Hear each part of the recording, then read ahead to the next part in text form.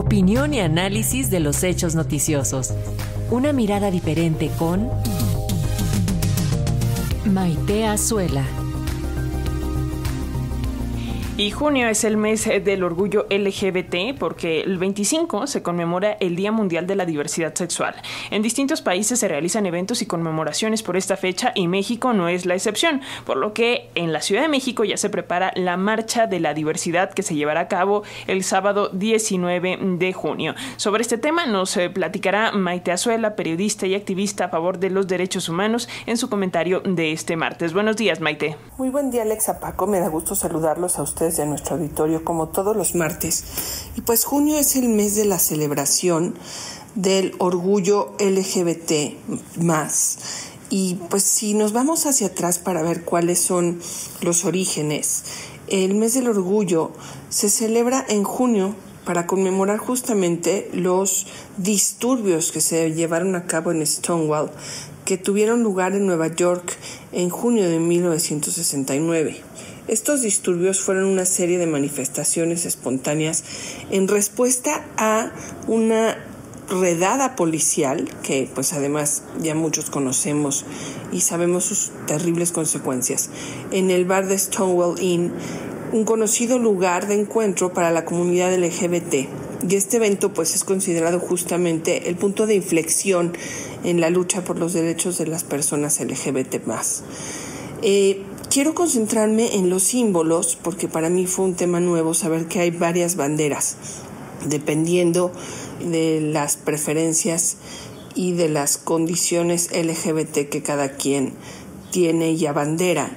Y una de las cosas que me llamó la atención es que no solamente está la bandera del arco iris, que quise recurrir a este tema porque, como saben, hace poco en las oficinas del Infonavit en la Ciudad de México eh, se colocó justamente en conmemoración a este día una bandera de arco iris que pues recorría de techo a piso el edificio, una bandera súper bonita y personal del sindicato, sobre todo su líder, decidieron retirarla y romperla. Entonces, pues, ¿por qué habrá que respetar estos símbolos y estos significados que tienen trascendencia eh, pues ahora sí que social y política, consecuencias sobre qué tenemos que entender alrededor de estos símbolos y de lo que implica sobre todo para la comunidad LGBT más.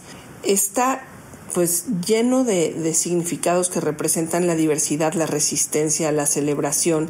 Y vamos a concentrarnos ahorita en la bandera de arcoíris y les comento un poco más de otras banderas.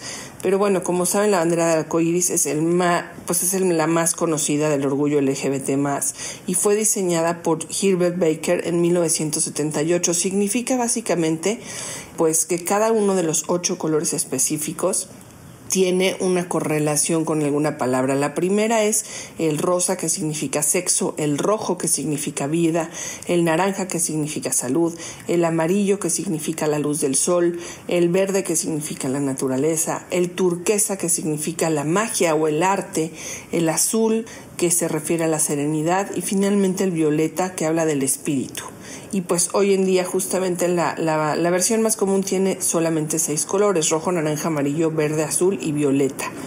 Está también la bandera transgénero. Esta está diseñada por Mónica Helms y se diseñó en 1999 y tiene cinco franjas horizontales, azul claro, rosa, blanca, rosa y azul claro de nuevo. El azul claro y el rosa significan los colores tradicionalmente asociados con los niños y las niñas. No, a las niñas nos asignan rosa y a los niños les, les asignan azules respectivamente.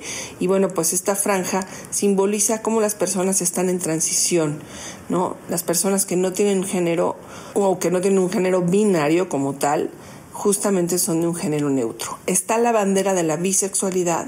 Esta fue creada por Michael Page en 1998 y tiene tres franjas horizontales, rosa en la parte superior, púrpura en el centro y azul en la parte inferior y significan primero el rosa pues la atracción por el mismo sexo, el azul representa la atracción por el sexo opuesto y el púrpura una mezcla de las dos, simboliza la atracción por más de un género.